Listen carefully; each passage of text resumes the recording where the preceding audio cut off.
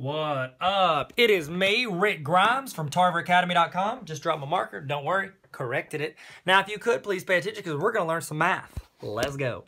All right, so today's question is submitted by Instagrammer at Tyler Tarver. Rick Grimes really appreciates your submission. We're looking at order of operations. So give this your best shot, pause it, and then come back and we'll work it together. Ready? Go.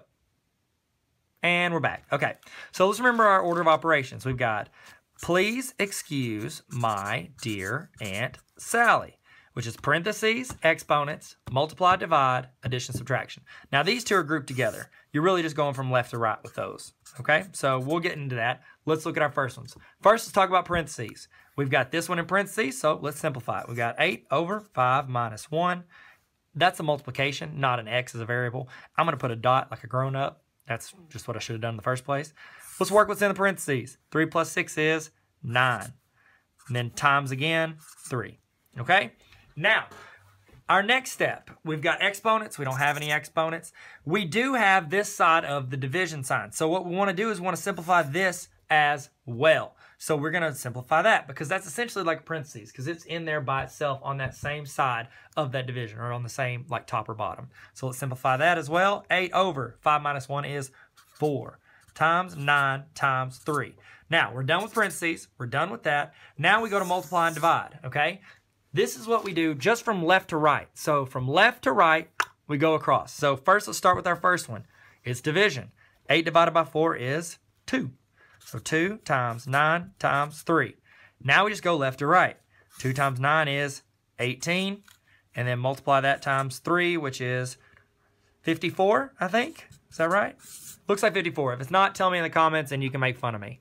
And that's it. You've simplified that down. There are no additions, subtractions. We didn't have to worry about that. All we did was learn. Winky face? No, that looks like evil face.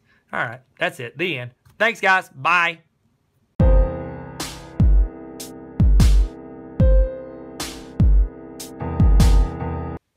Tyler here. Thanks for watching that video. You can check me out at both of my YouTube channels. YouTube.com slash Tyler Tarver has vlogs, fun videos, humor videos, short films, and some math videos as well. TarverAcademy.com has hundreds of math videos, tech help videos, how to do well on tests, tips to be a baller teacher or student, pretty much anything life throws you in the education realm. You can also check me out on social media at Tyler Tarver. I'm on Instagram with them Instagram pictures. You can check me out where I take pictures of stuff around me, my kids, or things that I like or think are neat. I'm also at Tyler Tarver on Snapchat, Twitter, link, not any part of LinkedIn, uh, Instagram, YouTube, we already talked about that, and then Facebook. You should check me out. You can also see pretty much all of my links and stuff that I do, like books or podcasts, at tylertarver.com. But most of all, thanks for watching this video. And I hope you have a baller day because you're the only 10 I see. I'm sorry.